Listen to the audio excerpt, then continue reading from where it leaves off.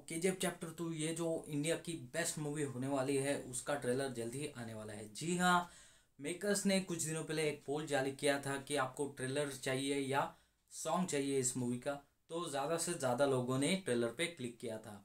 तो अगर बात करें इस मूवी की रिलीज़ की तो वो फिक्स है कि चौदह अप्रैल के मुहूर्त पे ये मूवी को रिलीज़ किया जाएगा। जी हाँ तो ये एकदम फिक्स बात है। तो अगर बात करें ट्रेलर की तो हम सबको भी पता है, जब ट्रेलर आना होता है तो काफ़ी हाइप क्रिएट होती है। तो फ़िलहाल के लिए अगर बात करें के की तो काफ़ी ज़बरदस्त हाइप ऑलरेडी क्रिएट हो चुकी है और काफ़ी सालों से चलती आ रही है।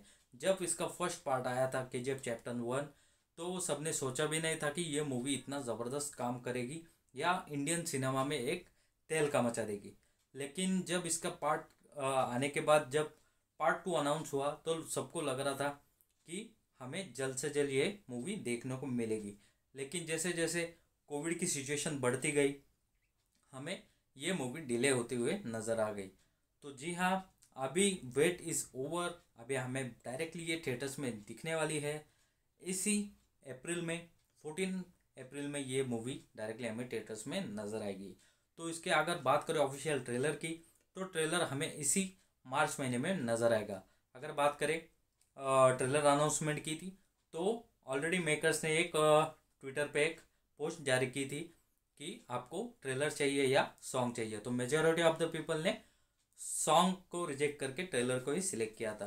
तो मेकर जल्द से जल्द ट्रेलर रिलीज़ करने वाला है। तो हमें देखना होगा कि कब ये ट्रेलर आता है। तो मेरे हिसाब से अभी डेढ़ महीने के आसपास मूवी की रिलीज़ बाकी है। तो हमें ये दस पंद्रह दिनों में ही ट्रेलर देखने को मिल सकता है।